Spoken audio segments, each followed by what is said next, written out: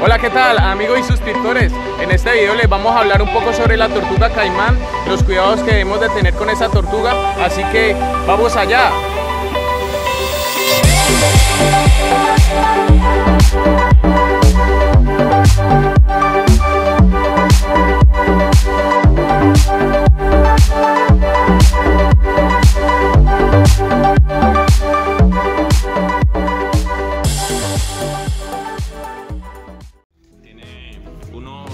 Meses de haber nacido. Eh, no está muy grande en este momento. Vamos a atomizarla un poco.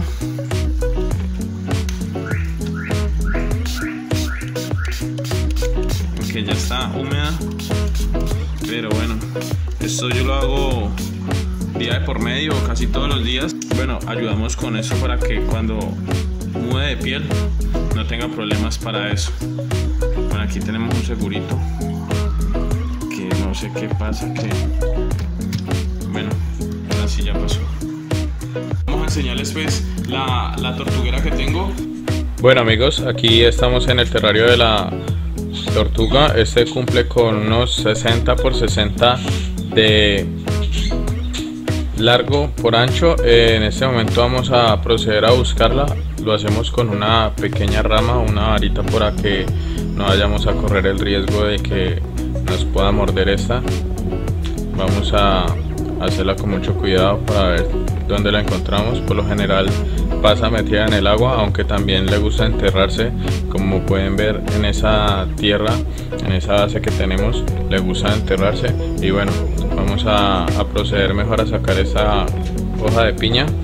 Como pueden ver la tengo sumergida con este carbonato activo para evitar malos olores y que nos ayude con la preservación del agua. Eh, vamos a buscar si está por aquí ya la encontramos la podemos ver ahí. Pueden ver que el agua está muy clara. Eh, vamos a dejar esta, esta remita y vamos mejor a cogerla con la mano ya que podemos ver dónde está su cabeza. Vamos a sacarla de donde la tenemos. Vamos a enjuagarla un poco. Perdón tortuguita. Ahí vamos a dejarla aquí para poder observarla y hablar un poco sobre sus características. Esta tortuga caimán, más conocida como tortuga mordedora, hace parte de la familia de las chelidras, es oriunda de América del Sur. Esta tortuga científicamente se conoce como Macrochelys teminki. Esta se denomina como Macrochelys ya que llega a rondar un peso de 80 kilogramos, alcanzando un diámetro de 110 centímetros llegados a conseguirse estos en estado natural.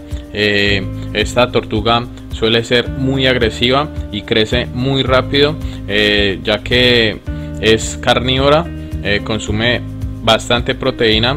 Eh, como pueden ver en este momento eh, ya me hace unos pequeños mordiscos siendo aún pequeña. Esta tortuga no es considerada como para una persona principiante o como para niños ya que puede ser muy peligrosa y muy agresiva llegando a ocasionar gravemente daños.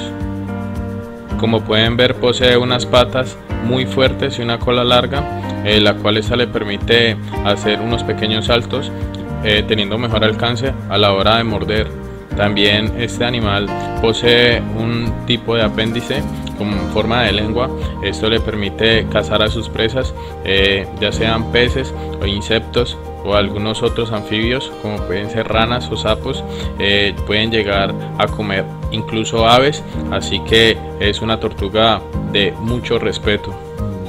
Por último, ya ha sido mucho estrés el que le hemos causado, así que vamos a ponerla en su terrario de nuevo y vamos a hablar un poco de las horas de sol que recibe esta diario. Como pueden ver, yo tengo un plástico aquí, el cual me cubre el resto de los recipientes, pero solamente a ella le cae un poco de sol. Esto le proporciona al sol por lo menos unas 6 horas en el día. Eh, se va cubriendo una sombra hasta llegando a cubrir la totalidad del terrario. Este es otro...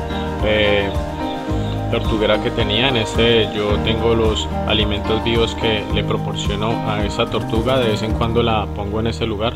Pero bueno, ella tenía la costumbre de aquí caérseme porque se, no sé, se me salía de ahí, caía acá en el estanque de los betas y terminaba comiéndoseme algunos. Entonces por eso opté por hacer ese terrario mucho más grande, el cual abarca más o menos unos 30 centímetros de alto. Y bueno, por último me va a tocar eh, hacer uno mucho más grande o trasladar para un lugar mucho más amplio para ella. Vamos a retirar esa rama aquí de nuevo vamos a enfocarla un poco y vamos a despedirnos de ella vamos a ponerla en el lugar donde le encontramos de nuevo.